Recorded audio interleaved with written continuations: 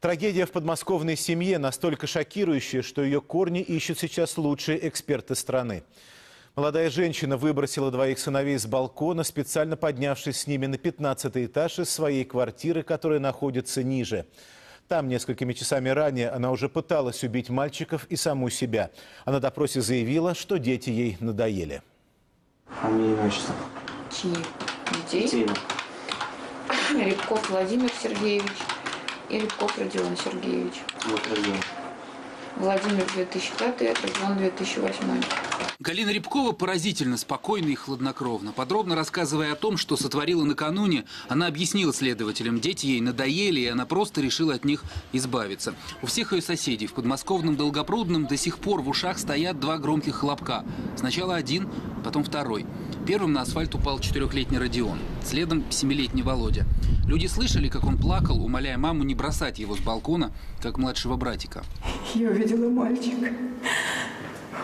Он лежал на спине в зеленых шортиках, и у него в руке что-то зелененькое, какая-то игрушечка была. Один на спине, другой лицом вниз. И вот, вы знаете, у меня такие же внуки. Вот.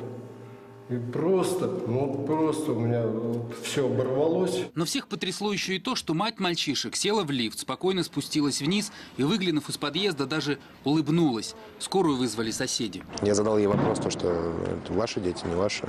Да, мои, говорит. И совершенно спокойно к выходу направилась. Она рассказывала то, что надо было давно так сделать уже, и ей все надоело, как бы ей никто не дает жить спокойно. Уже потом следователям она рассказала, что пыталась убить детей вместе с ними и себя еще тем же утром. Она приняла с ними ванну, в которой положила фен, однако вследствие замыкания э, свет э, в квартире отключился, и она приняла решение выбросить детей с балкона. Галина предложила мальчишкам запустить бумажные самолетики, для чего они все вместе поднялись повыше, на 15 этаж дома. Сегодня под этот балкон люди весь день приносят цветы и игрушки. Многие не могут удержаться, стоят и плачут. Соседи пытаются понять, как такое могло произойти, ведь Галина никогда не кричала и уж тем более не била сыновей. Правда, накануне она жаловалась, что муж уехал в командировку в Волгоград, откуда они переехали несколько лет назад, и, как обычно, не оставил денег. Вот что мне делать? Она мне спрашивает, Каугаль, о чем ты? Вот муж уехал, дети у меня голодные, кушать нечего. Что мне дальше делать? Я ей говорю, что делать? На работу надо идти, Галь. Они хотят туда болтать. По словам соседей, Галина не работала, а в 27 только собиралась поступать в институт. Семья была не из бедных, муж Сергей программист в крупной компании, но детей все видели неопрятными. Старший в этом году должен был пойти в первый класс, но его не приняли, потому что он не умел читать. Всех настораживало то, что она их одних оставляла дома. Она их закрывала и уходила на 3-4 часа, каталась на роликах здесь у нас. И сколько раз мы ее видели, а дети где? А дети дома у нас. Всех настораживал, что она была какая-то нездоровая худоба у нее. Галь, ты что, ничего не кушаешь? Как бы как ты так? Она говорит, я не врастеничка, я ругаюсь на мужа кричу. Мать-убийцу ждет официальная психолого-психиатрическая экспертиза, но узнав о ее поступке, специалисты склоняются к тому, что она была полностью вменяемой, и уйти от наказания ей не удастся.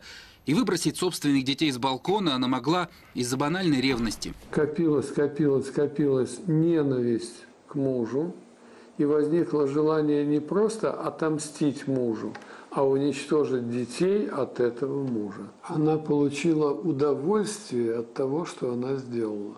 Вот в этом самый большой трагизм. Она получила удовольствие от гибели собственных детей. Впрочем, как-то заранее понять, на что способна такая мать, практически невозможно, полагает психиатр Михаил Виноградов. Соседи же вдруг начали вспоминать странные шутки Галины на тему детской смерти, на которые до этого не обращали никакого внимания. Известно, что отец детей вернулся из командировки еще накануне вечером и едва не потерял сознание, узнав о поступке жены. Она прощения, может быть, попросила? Она посмотрела вам в глаза? Мы не разговариваем. А сегодня рано утром на стене дома кто-то краской вывел крест, написав, что здесь невинно погибли два малыша.